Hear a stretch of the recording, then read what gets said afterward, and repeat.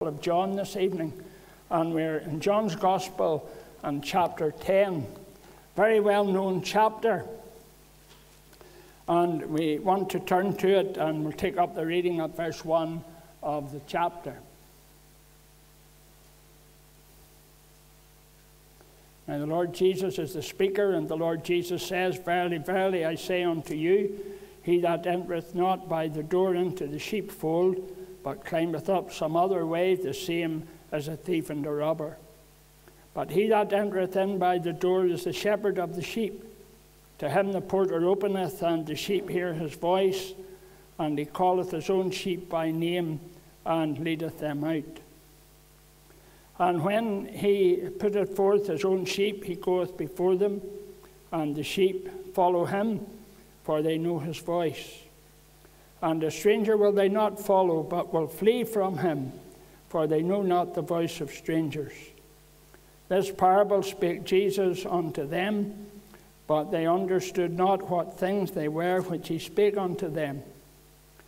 Then said Jesus unto them again, Verily, verily, I say unto you, I am the door of the sheep. All that ever came before me are thieves and robbers but the sheep did not hear them. I am the door. By me, if any man enter in, he shall be saved, and shall go in and out and find pasture. The thief cometh not but for to steal and to kill and to destroy. I am come that they might have life, and that they might have it more abundantly. I am the good shepherd. The good shepherd giveth his life for the sheep. But he that is an hireling and not the shepherd, whose own the sheep are not, seeth the wolf coming, and leaveth the sheep, and fleeth, and the wolf catcheth them, and scattereth the sheep. The hireling fleeth because he is an hireling, and careth not for the sheep. I am the good shepherd, and know my sheep, and am known of mine. God will add his blessing to this reading from his precious word of truth. Now let's take time to pray together. Let's seek God's face at the throne of heavenly grace that we might know God's help and God's blessing in the ministry of the word and the gospel. Our Heavenly Father, we bow our heads and hearts in Thy presence again. And our Father, we want to thank you sincerely for a sense of your presence already in this meeting. We thank you, our Father, for the time, for the time of praise that we have had for the songs of Zion that we have enjoyed singing together, and for the great truths expressed in them. And our Father, I think we can all say that we have been blessed in our souls already in this meeting this evening. Now, Father, we come to that part of the meeting where it is our responsibility to handle the Word of God, to preach the unsearchable riches of Christ. And our Father, we feel like one of old who said, Who is sufficient for these things? But our Father, we thank you that you've given us the Holy Spirit of God and that He is the great enabler. He's the one who empowers. And we pray, Lord, that the Holy Spirit of God may take up the clay lips this evening. That God, the Holy Spirit, might speak in and through the preacher. And our Father, we pray that your word will come forth with simplicity and with clarity and with power. And thank you, our Father, that you're the all seeing, all knowing God. You know each of our hearts. You know where each of us stand before Thee. You know those that are Thine and those that are not. And our Father, it is for those that are not Thine that we have a particular concern this evening. And our Father, we pray that the Spirit of God may move in the hearts of such, cause them to think about things eternal, bring them to see their need. And, O oh God, we pray that they might look to Christ tonight and see in Him the one who is able to save their souls. So, Lord, we commit the proceedings of this meeting to Thee and ask Thee to glorify Thy Son and to bless us in the Saviour's name. Amen. Uh, friends, my text this evening uh, is a very well known text. And it is that great text that we find in the Gospel of John in chapter 10 and verse 9, where the Lord Jesus Christ said, I am the door, by me, if any man enter in, he shall be saved and shall go in and out and find pasture. Of course, friends, this picture is one that is drawn from agricultural life in the land of Israel. And of course, it, is, it was particularly true when our Lord Jesus Christ walked as a man amongst men and exercised his public ministry there. Every morning, the shepherd would lead his sheep out to the pasture lands. The pasture lands weren't enclosed fields like it is in our country, but the pasture lands were open, and the shepherd would lead his sheep out to pasture. And when a pasture in one area was consumed, then the shepherd would lead his sheep onto fresh pasture.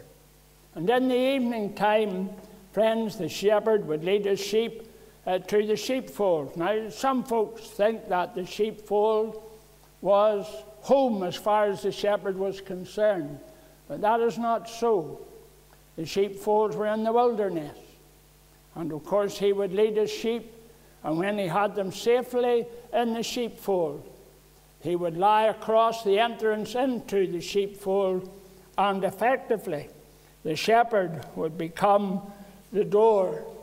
And of course, our Lord Jesus Christ takes up this imagery, and he uses this imagery to emphasize this great truth that salvation is through Christ and through Him alone. You know, as we come to consider this great text this evening, I want to speak to you, first of all, about the person of Christ. Friends, it seems ridiculous for me to state that John's Gospel, chapter 10, follows John's Gospel, chapter 9. Yet it's important for us to understand that in terms of follow on. The great truths that our Lord Jesus Christ presents in John's Gospel, chapter 10, are presented in answer to a statement that was made in the Gospel of John and chapter 9. Of course, John's Gospel, chapter 9, is the inspired record of the healing of a man who was born blind.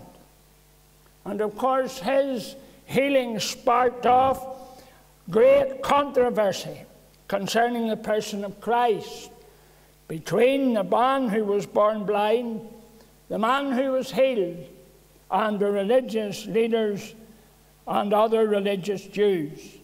And the position of the Pharisees is summed up in verse 29 of chapter 9. We know that God spake to Moses but as for this man, speaking of Jesus, but as for this man, we know not whence he is.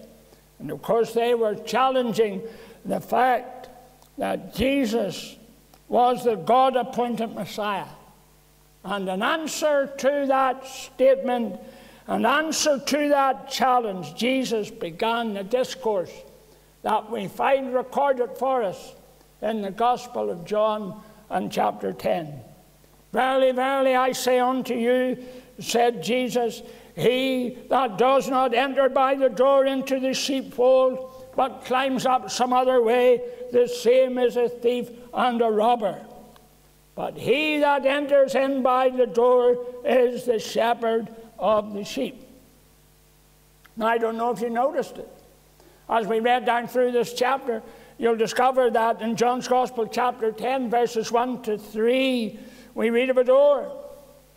And then when we come on down the chapter a little bit, John's Gospel, chapter 10, verses 7 to 9, we read of a door. And of course, uh, these are two different doors, very different doors. Because the door that we read of in John's Gospel, chapter 10, verses 1 to 3, is the door through which the shepherd entered. And the door that we read of in John's Gospel, chapter 10, verses 7 to 9, is the door through which the sheep enters. And of course, friends, the door through which the sheep enters is our Lord Jesus Christ Himself. John Gospel, chapter 10 and verse 1, speaks of the door through which the shepherd entered. And of course, that begs the question is the door through which the shepherd entered important? Yes, it is vitally important. And I'll tell you why it is important. It is vitally important because it identifies for us the God appointed shepherd of the sheep. You know, through the course of history, there were those who came upon the scene, and they came upon the scene claiming to be the Christ of God. But of course, we read of two of these self appointed messiahs in Acts of Apostles in chapter 5. One was called Theudas, the other was called Judas of Galilee. Both these men were impostors, and evidently so. Do you know how we know? Well, I'll tell you how we know. We know because they did not enter via the door. They climbed into the role of Messiah another way. And by contrast, the Lord Jesus Christ, the true Messiah, entered in by the door, and that is proof of his authenticity. What door was that, you might ask? Well, friends, the answer to that question is very simple. The door through which Christ entered is the door of the prophetic scriptures. In coming into the world, Jesus fulfilled all that the prophets had foretold about the coming of the Messiah. Friends, it would be possible, impossible for me to turn to every scripture, every prophetic utterance that Jesus fulfilled. However, in the Gospel of Matthew, some 13 times we read that this was done, and that was done, and the other was done, that it might be fulfilled which was spoken in the Word of God by the prophets. Five of these prophecies related to Christ's birth. Four of these prophecies relate to his public ministry. Four of these prophecies relate to his death. And I want you to understand it this evening that we can say that in his birth, in his public ministry, in his death, Jesus fulfilled all that the prophets had spoken concerning him. Concerning the Messiah's birth, the prophet Isaiah said, Behold, a virgin shall conceive and bear a son. Concerning his public ministry, Isaiah said, Surely he hath borne our griefs and carried our sorrows. And Matthew adds this comment that it might be fulfilled, which was spoken by Isaiah the prophet, saying, Himself took our infirmities and bare our sicknesses. And concerning his death, the psalmist said, They pierced my hands and my feet. In his birth, our Lord Jesus Christ was born of a virgin. For that which was conceived in the womb of Mary was conceived of the Holy Ghost. In his public ministry, our Lord Jesus Christ healed the sick and raised the dead. And in his death, his hands and his feet were nailed to a Roman gibbet. And it's Isaiah that informs us that when he was on the cross, God laid on him the iniquity of us all. And he was wounded for our transgressions, and he was bruised for our iniquities, and he bore the punishment that our sin deserved. And by doing so, he has provided us with a full and a perfect and a complete salvation. I want to say to you this evening no one has ever done what Jesus did in order that we might be saved. I want you understand it, Muhammad didn't do it. Rastafarian didn't do it. Buddha didn't do it. None of the great religious leaders ever did what Jesus did. But Jesus and Jesus alone did all that was necessary in order that you and I might experience and know God's salvation. Friends, I want to talk to you for a little while about the picture that our Lord Jesus Christ uses. Text before us this evening, let me quote it again. I want to fix it in your minds. John's Gospel, chapter 10 and verse 9 says, Jesus says, I am the door. By me, if any man enter in, he shall be saved, and shall go in and out and find pasture. Friends, the text tells me this. The text tells me that the one who came in by the door became the door, the door which, through which sinners could pass and enter into the blessings of God's great salvation. Friends, what a tremendous picture the Lord Jesus used when he said, I am the door. What wonderful simplicity. What wonderful familiarity there is in the idea of a door.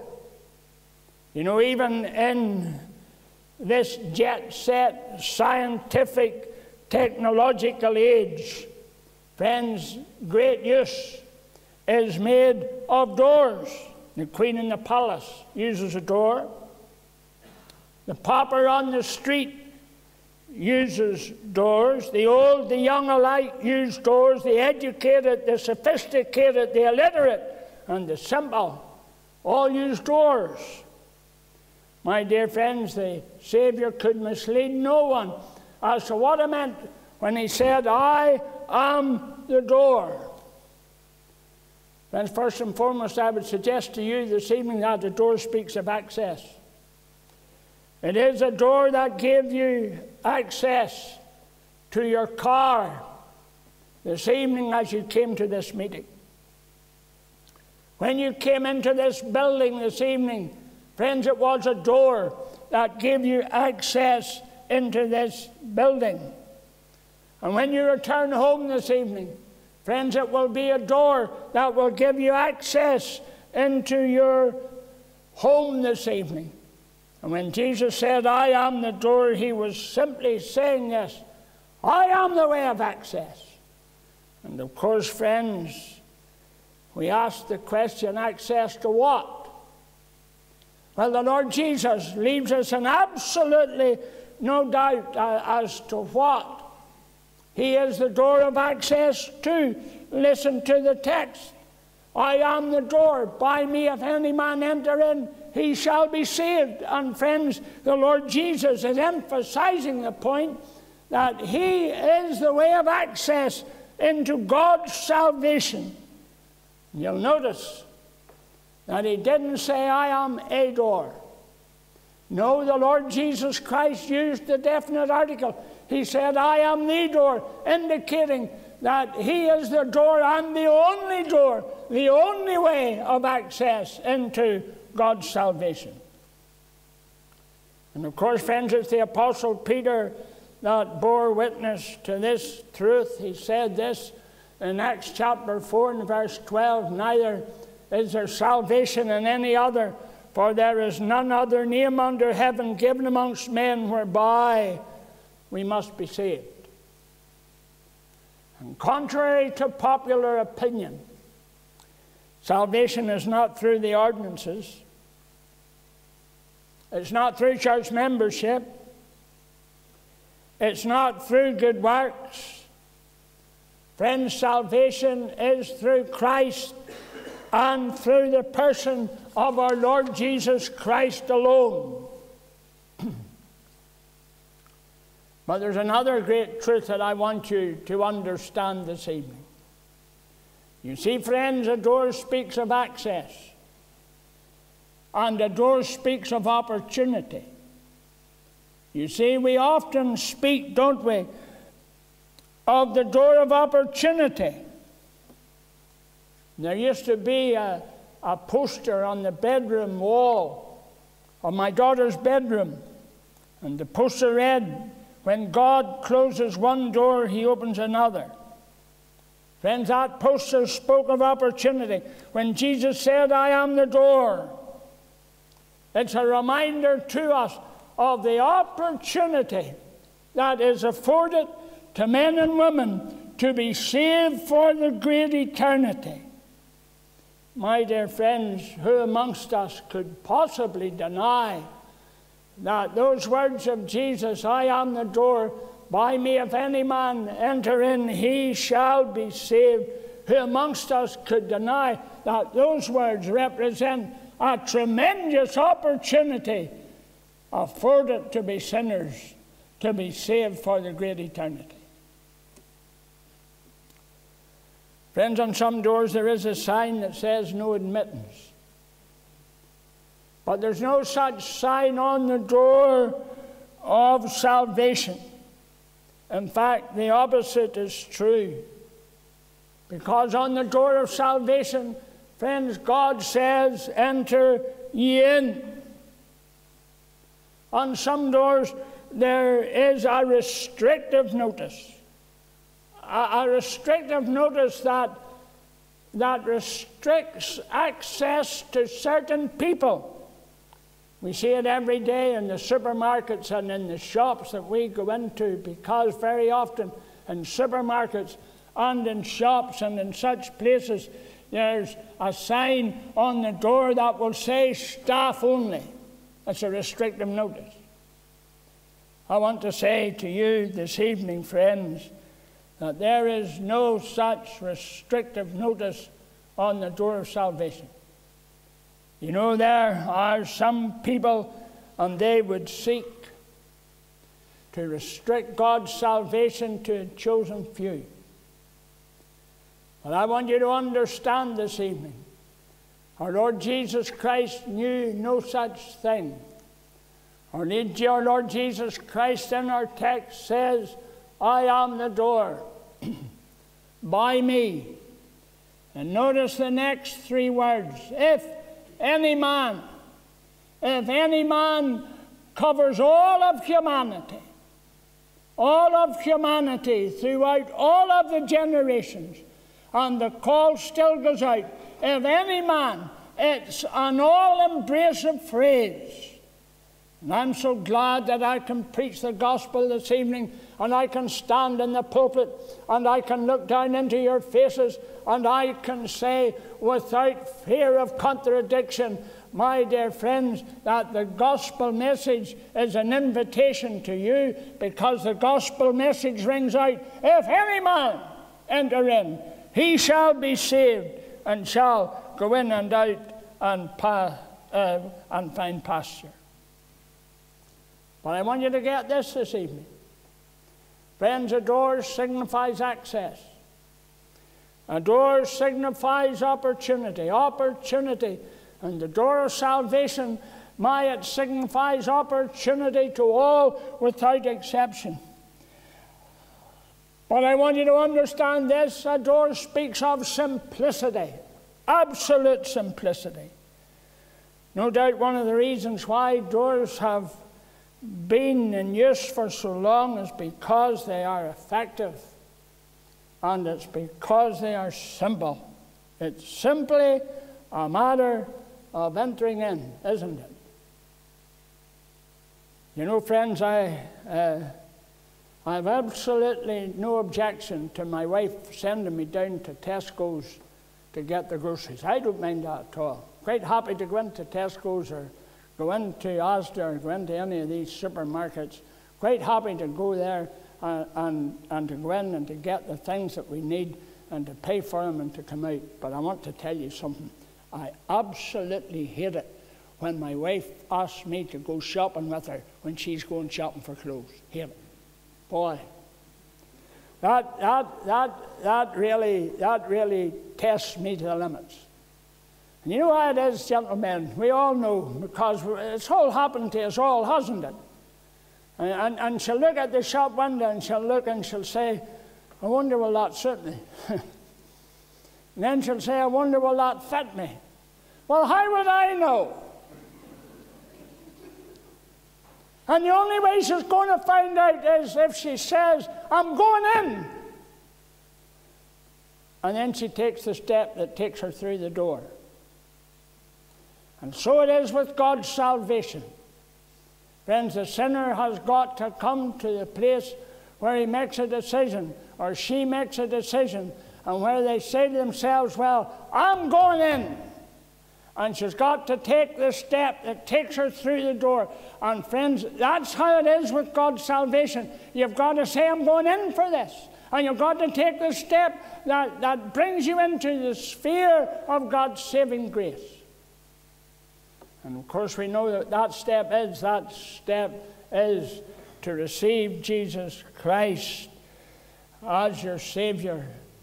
And if you're ever going to be saved, I tell you this this evening you must embrace Christ as Savior.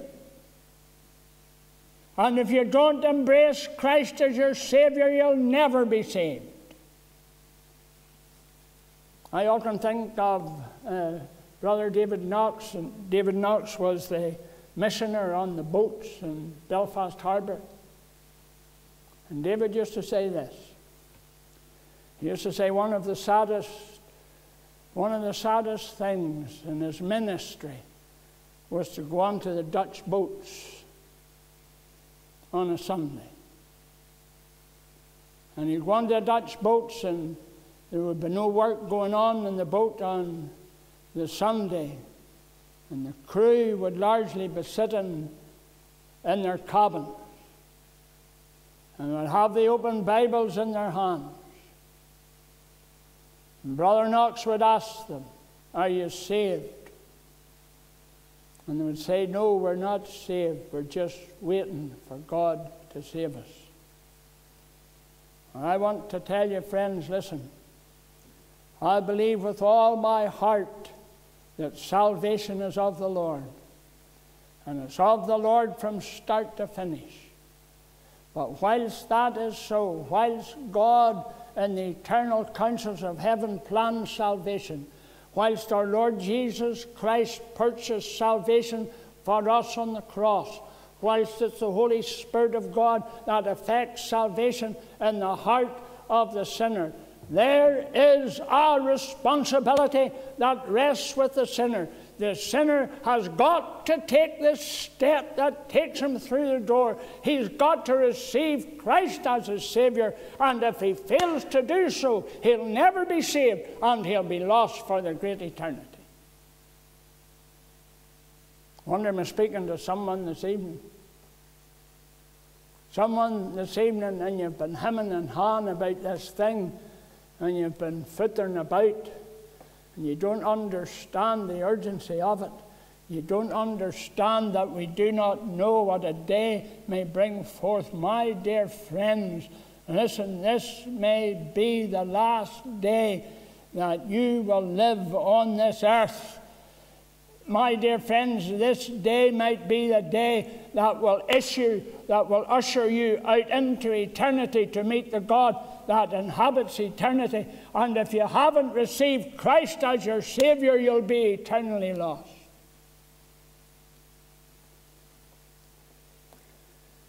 Friends, I want you to see this evening the prospect that the Savior offers.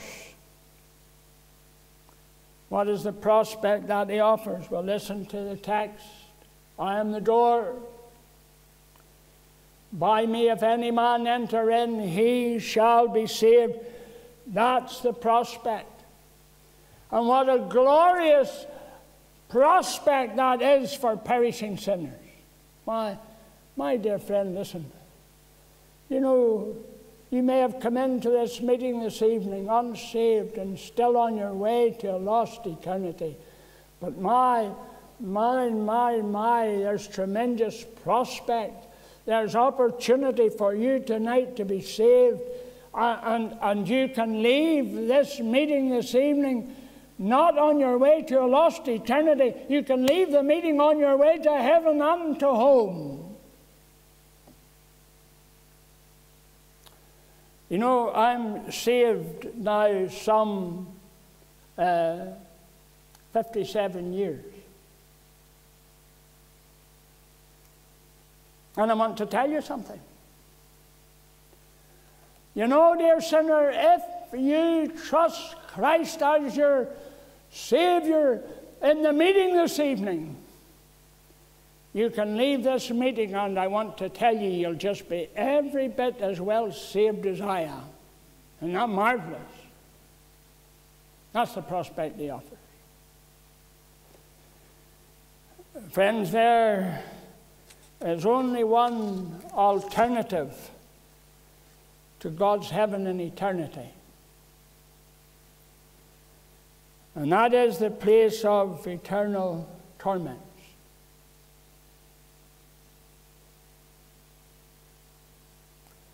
Jesus described it as a place where there would be weeping and wailing and gnashing of teeth.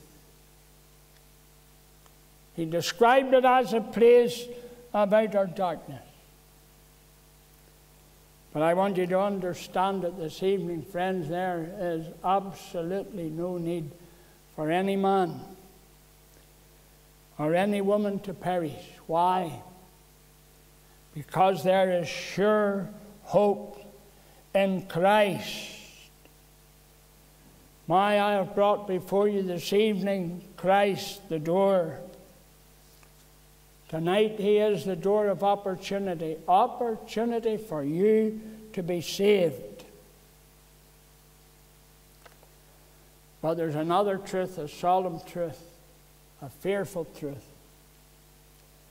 My dear friends, the door of opportunity could quite easily become the door of opportunity missed. I'm thinking of Noah's Ark. And I'm thinking of how God told Noah to build the ark. And Noah built the ark, and it took him 120 years to do so. And during that 120 years, Noah, Noah preached righteousness. Noah invited men and women to come into the ark to be saved.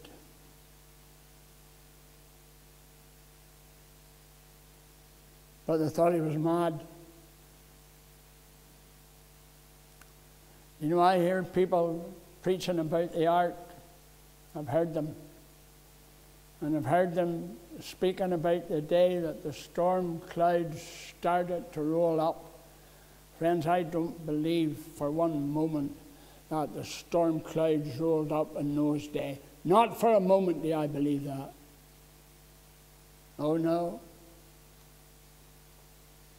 Oh no, I believe, friends, that the sun shone. There never had been rain before. Folk didn't know what rain was. The earth was watered by a mist that came up in the evening. And I believe the sun shone. And then there came the moment when God closed the door of the ark. The Bible says God shut the door.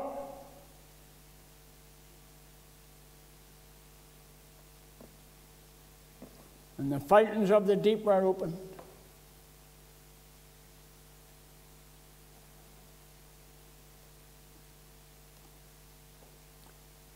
And the canopy of water above the firmament burst. And the flood came.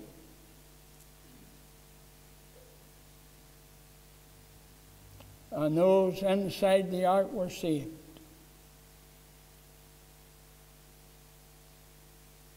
And those outside of the ark perished. And so it will be.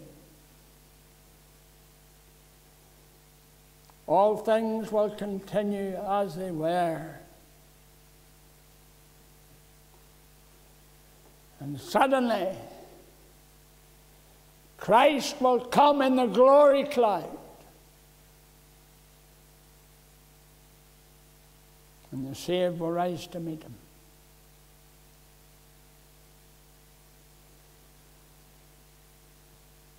And the unsaved will be left behind. to face eternal judgment.